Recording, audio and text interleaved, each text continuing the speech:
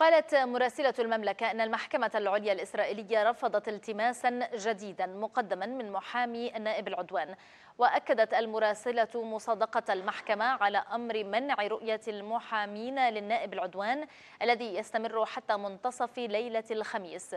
وقالت إن النيابة العامة الإسرائيلية أعلنت عدم التزامها بالسماح برؤية المحامين للنائب العدوان يوم الخميس.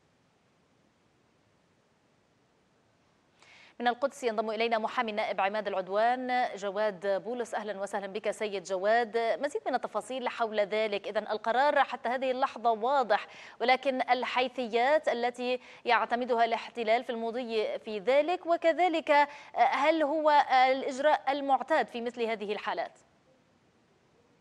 مساء الخير. في الواقع يعني قد ننظر إلى هذه القضية كقضية استثنائية بواقع أن النائب عدوان لم يحظى حتى هذه اللحظة ومنذ تاريخ اعتقاله في الثاني والعشرين من أبريل بلقاء مع محامي وهو حق كما يعرف الجميع حق أولي وأساسي في علم القضاء والدفاع. من هذه الناحية وهذا ما قلته اليوم أمام هيئه قضاه مؤلفة من ثلاثة قضاه أن حالة استثنائية يجب مراعاة مكانة وظرف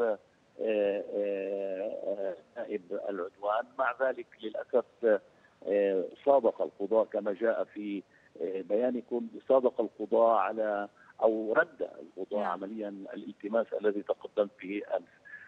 الأمر المنع كان من المفروض أن ينفذ الأمر السابق كان من المفروض أن ينفذ في منتصف ليلة الأول من أيار وكنا ننتظر أن نعطى فرصة لقاء النائب علم بأن المحكمة العسكرية في عوض كانت قد مددت توقيفه حتى يوم الأحد القادم بثمانية أيام فانتظرنا عشان يعني نحظى بفترة بفرصة لقائه وسماع موقفه أزاء ما أشيع وأزاء ما رأينا وشاهدنا وما أتت وسائل الإعلام عليه الوسائل الاسرائيليه تحديدا.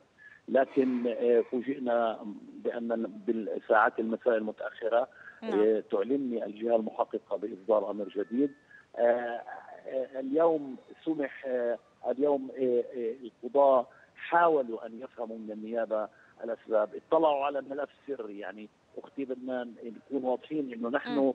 لا نعرف لماذا يعني وكيف وعلى أي أساس نعم وهذا يشمل عدم المعرفة بتوجيه تهم بشكل رسمي سيد جواد؟ طبعا طبعا طبعا طبعا طبعا طبعا. يعني أنا أؤكد أن في ضبوط كل المحاكم التي جرت لا يوجد أي تهمة منصوص عليها سوى شبهات عامة بأن تقول وتفيد بأن النائب قام أو اقترف مخالفات أمنية، غير ذلك لا يوجد تفصيل لا كما سمعنا في الأخبار ولا كما شاهدنا من على شاشات التلفاز. وهكذا أيضا جاء اليوم في المحكمة. كل ما هنالك أن القضاة قالوا أن حيثيات التحقيق ودواعيه تحتم إبقاء النائب قيد التحقيق وتحتم أيضا للأسف عدم إعطاء فرصة لقاء المحامي. اللافت أيضا في هذا الموضوع أن نيابة الدولة نيابة إسرائيل اليوم لم يعني تصرح أمام المحكمة أن الأمر القائم اليوم النافذ اليوم هو الأمر النهائي بل على العكس قالت سنقيم الوضع غدا وسنعلم المحامي بولس فيما إذا سنرفع الأمر صباح الجمعة أو نعم. إذا كنا سنصدر امرا جديدا نعم وبالتالي أستاذ جواد هذا يعني أن هذا الأمر أو هذا القرار قابل للتجديد بالاعتماد على ما تراه المحكمة مناسبا خاصة فيما يتعلق بمجريات التحقيق والانتهاء منها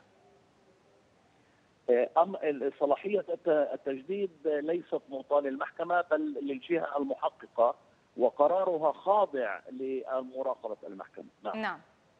إذا ننتظر حتى ذلك الموعد ولكن حتى هذه اللحظة لا يمكن التكهن سواء بموضوع الاتهامات الموجهة أو حتى السماح للنائب العدوان برؤية محامي. في الأعراف الدولية أو القوانين الدولية ما هي الحالة التي تنطبق على ذلك؟ حيث أنك أشرت في بداية هذا الحديث إلى أن أبسط الحقوق هي رؤية أي شخص قد توجه له أي نوع من الاتهامات وهو في رهن الاحتجاز محاميه الخاص.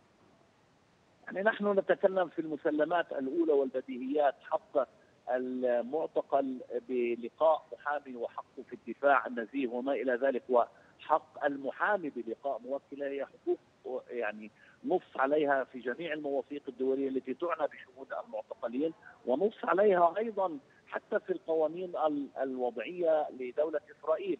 ولكن يعني القانون أبقى استثناء بهذه القاعدة في حالات يدعي فيها أو تدعي فيها الجهة المحققة أن هنالك موجبات أمنية لمنع هذا اللقاء تلجأ الجهات المحققة لذلك وهذا ما فعلوه في حالة النائب نعم تبعا لحكمها طبعا وهذه تبقى هذا التعريف يبقى مطاطا فبالنهاية لا يوجد أي تفاصيل كما تفضلت بالإضافة قبل قليل.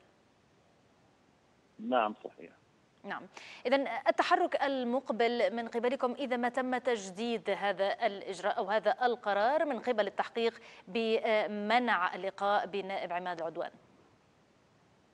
يعني زيارته صباح يوم الجمعة وأنا آمل أن يعني أستطيع الزيارة لأقف معه أولا على ظروف الاعتقال معطياته موقفه ردوده تفاعله.